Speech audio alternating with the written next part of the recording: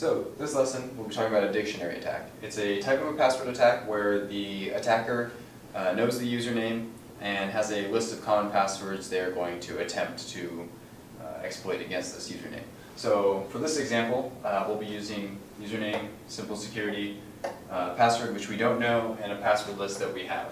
So, using uh, Kali Linux and the application Hydra, um, you can set a username tell it which password list to use, and the target for this attack.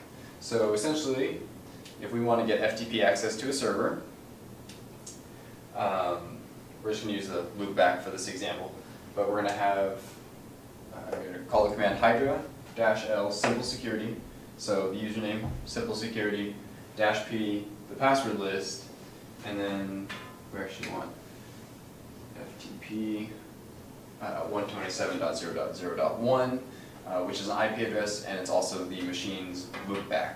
So what that will do is it's essentially going to try this password and find out that it's incorrect.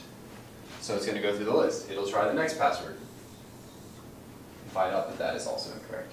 And it's going to keep going until it eventually stumbles across the password. Here, our secure password, and the attacker will be granted access because the password that we chose to use is a very common password and would be easily cracked using a dictionary attack uh, through Kali Linux using Hydra.